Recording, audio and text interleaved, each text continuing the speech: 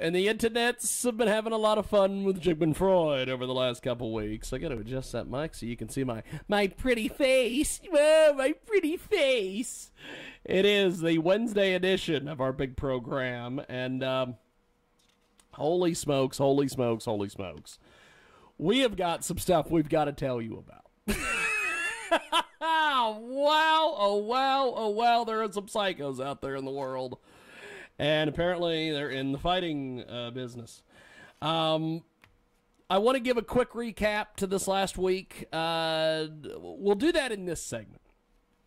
We had a fight this last week, and we kept it kind of quiet because I wanted to see what would go on. So uh, we decided we would fight in You Be the Judge number three Fists of Fury.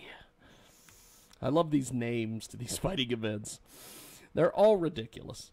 But uh, yes, we had an actually a really fun time uh, this last weekend in uh, the great city of Newton, Kansas. Yes, Newton, Kansas, of all places.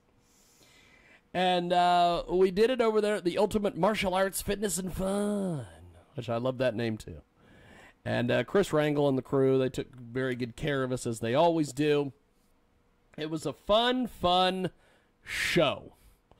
And we had this guy named Rich Groninger who was going to fight us. Let's see if I can find some photos of this guy.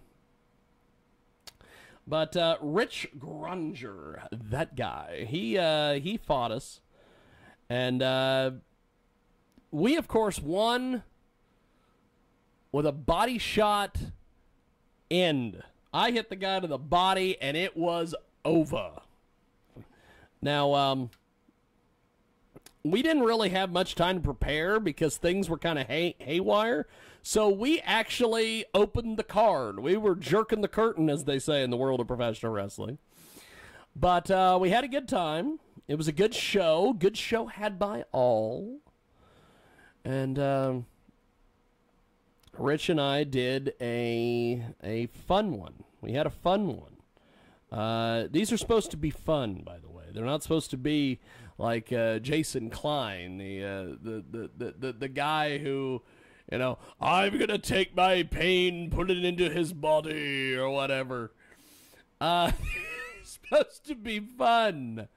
supposed to be fun, fun, fun. Look at that. Uh, but here is the photo. If I can get this centered, I'm doing this all on the fly. There's the photo of me and Rich at the weigh-in, and uh, Rich, of course, uh, he is a self-professed redneck, and uh, he went into this thing. He was the redneck swinger. He was the redneck hitter.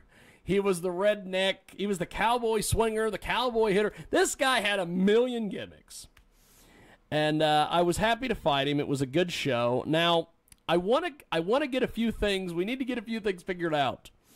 I was told by our buddy in Texas, Jason Klein.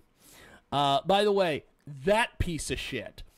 Um, that uh, he's got a brand new name, and uh, we were told by him that we were going to, he was going to make sure that we never fought in another organization ever. And all I would have to do is fight in local smokers. And then at one point, this piece of garbage goes, Oh, I'm going to make sure that all you can do is local smokers. So I'm trying to figure out which one it was. But either way, we did a show on Saturday night, had a good time. And uh, we fought Rich Groninger. This guy showed a hell of a lot of heart. Uh, we'll have the video up on the website and everything very soon. Uh, it's also going to be on, the, on, on all the social medias and everything as well. But uh, that's it. That's what we did Saturday. And who knows? Maybe I'll fight again. Maybe I won't. Uh, maybe I'll try to go do what I've always wanted to do in the month of November. I don't know. I did post a thing the other day that I that we were going to be fighting in New Jersey in a few weeks. That's not happening. I basically put that up so I so he would immediately do what I knew he was going to do, which was scour the internet try to find the date, try to find the promoter, and try to screw it up. And I would love to be there when when they got that phone call where he's like, "You can't let James Lowe, Jiggy Jaguar fight for you," and they're gonna be like, "Who?" I'm gonna constantly do these things where I'm gonna make this asshole go do hide and go seek stuff. But uh, that is this segment. We are going to take a brief break. When we come back, we have got a great, great PR strategist coming up. We're going to talk to them.